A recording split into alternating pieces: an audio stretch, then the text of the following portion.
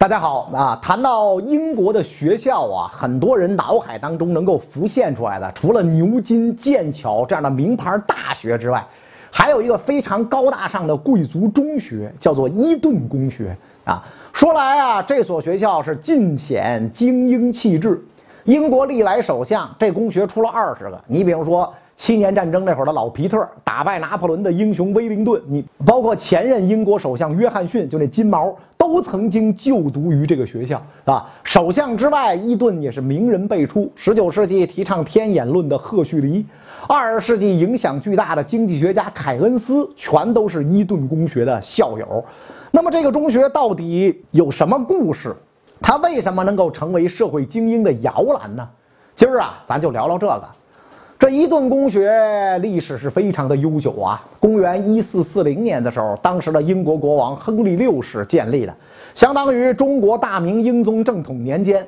亨六在英国历史上啊评价特别低，自己性格懦弱，直接呢导致了玫瑰战争。后来他还疯了啊！不过亨六啊当国王不行，人却是个好人，对宗教特别虔诚，自己呢也特别朴素，而且呢还热衷教育，出资在剑桥大学建了个学院，这就是如今的国王学院。一开始呢，计划招收七十个孩子，但是当时上大学这事儿不容易，你得先有预备的知识，而且呢得有资产供养你读完书。当时的英国贵族普遍都是大老粗，就算家有钱儿，也没有动力学习。真想上大学的呢，家里往往囊中羞涩，所以啊，光是开个国王学院，想来读书的人肯定会不少，但最后的下场就是这个没人读得起书。为了解决穷人想读书读不起的问题，亨六呢就搞了个剑桥大学国王学院预备学校，也就是伊顿公学，每年招七十个人，学费全免。等这些孩子完成了公学的课程，自动升级去剑桥国王学院深造。当时的英格兰像伊顿公学这样的公学还有好多，你比如哈罗公学等等，他们叫公学，顾名思义就是开放给大家，根本不是什么贵族学校。在当时没有义务教育，这样的公学能给这个平民希望和机会，让他们从此可以读书认字儿，走上人生的康庄大道。到了十八世纪以后，事情开始起变化了，义务教育开始在英格兰普及，普通中产阶级的孩子呢也有机会接受教育，过去的公学就变得多余了。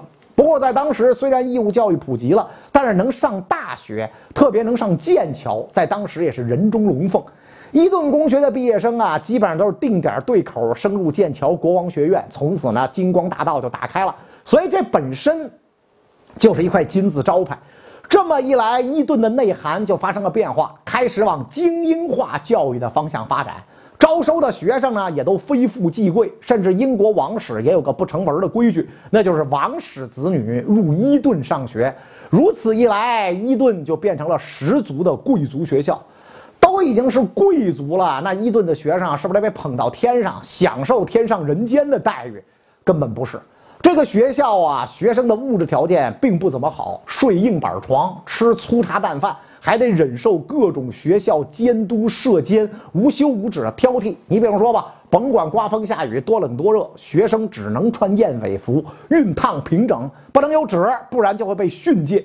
至于咱们学生常见的那种背着的书包，对不起，伊顿历史中根本没这玩意儿。多少书您都得拿手拿着，不然的话会让燕尾服不好看。甚至说，您要是穿的袜子带彩色花纹，被射监瞅见了，不好意思，直接退学，连申辩的机会都没有。规矩如此严格，学生课业负担也不轻。他们不是跟衡水毛坦厂中学似的，一天天做题啊，恨不得学生眼镜都一千二百度，而是要上大量的体育课。伊顿学生自己有个格言：“运动第一，学习第二。”可见他们对运动有多狂热啊！这么做也有理由，因为这所学校毕竟是贵族教育，贵族就要求高尚的品质，比如学会接受失败、领导和被领导，遇到困境不退缩，这个团队荣誉等等等等这些东西。这些东西啊，在课本上学不到，只有在体育场上历练了才知道。后来打败拿破仑的威灵顿就是伊顿的学生。据说他打完滑铁卢之后重访伊顿，说感谢伊顿的锻炼，否则我不能在滑铁卢打赢拿破仑，是吧？在战场上死个人什么这点东西，跟我平时在这个中学受的虐待比，这不算什么，对吧？不算什么，这儿生不如死，是吧？哎，所以你们是吧？就跟有的那小孩为什么会打架？从小我爸就打我。是吧？然后真真到这个上去跟人打架，还没我爸打的疼呢，这算什么呀？所以这种人啊，爱打架是吧？伊顿这样的贵族精英教育也不是没有问题。你比如说吧，高年级的可以随意凌辱低年级，随意打骂，非常普遍。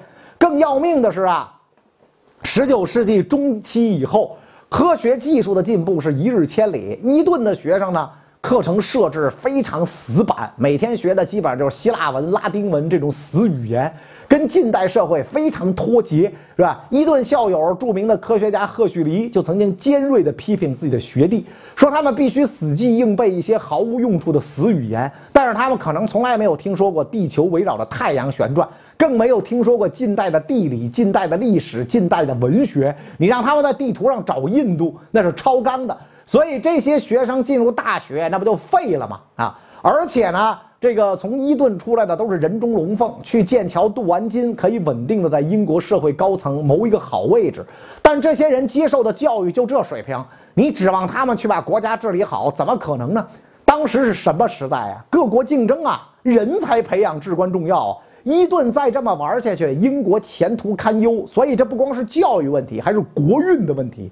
所以呢？十九世纪六十年代，迫于巨大的压力，伊顿公学开始改进了自己的课程设置，终于呢加入了科学课。但这一切的前提是不损害希腊文、拉丁文的地位，而且呢学科学也得有利于绅士精神的培养，比如呢直接促进和培养人的观察能力，培养有条理的思维习惯。这些东西当然是绅士美德，而且呢将自然科学引入这个正规课程是适宜的。于是自此之后，伊顿开始引入科学、实证这些科目，并且呢，对学生的要求也不是能大段的背诵拉丁文、希腊文就算了，还得学以致用，对一些正在发生的事情要有独到的见解。也多亏了这次伊顿公学的改革，他们的毕业生才能适应日新月异的新社会。二十世纪的伊顿还能出那么多名人啊，比如这个凯恩斯啊、奥威尔啊，还有一大票首相，这一点是至关重要的。到了二战之后，随着社会上多元化和人权思想深入人心，伊顿呢也在进行着另一场变革。过去那种高年级对低年级的随意凌辱，还有那种随处可见的体罚，至此呢算是彻底废除。除此之外，伊顿的招生范围也扩大了。到现在，伊顿每年面向招生一千多名男生，啊？中国人、黑人，只要符合严苛的入学条件。